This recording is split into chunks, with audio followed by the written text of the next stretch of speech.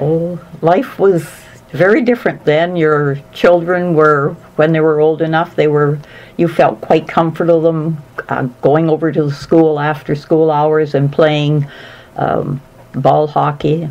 And uh, I could send my two little boys uptown to the grocery store to get a loaf of bread.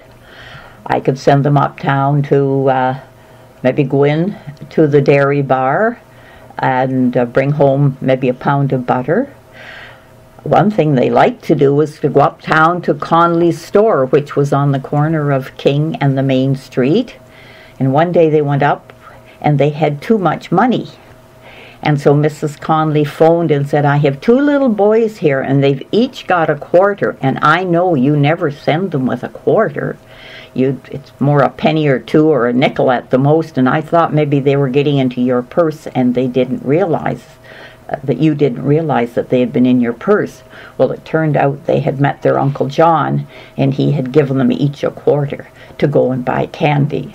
Now, can you imagine a store calling today because two, two little kitties had too much money to spend? but you, you, you know, you felt that they were safe. I wouldn't let one go, but with the two of them, and or they'd go up, and uh, the lady that in later years, the lady. Uh, that was running the store um, would have them come in and she'd make them a sundae and give them a sundae.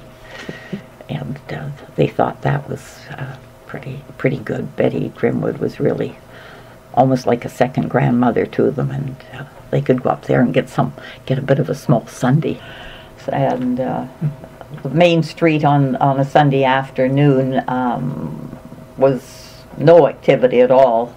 As my late husband said, you could roll a bowling ball down the the center of the street. But and people uh, at the time when I first came, people knew each other, um, and most of them had grown up here, as my late husband's family had. They were here for generations, uh, and they knew everybody in town. Uh, but with cars coming in and um, people started to go further further afield. Uh, but I think that was, and new people coming into town. Um, the town has changed, and then of course with Shaw coming in, which really the town needed something to bring pe- uh, people here to be able to live here and stay here. Uh, it, it, uh, it, that's when the town started to really um, started to progress. And the boats, of course, had stopped. And the railway, although the railway came down the main, or King Street, it, those tracks were, hadn't been used for a number of years.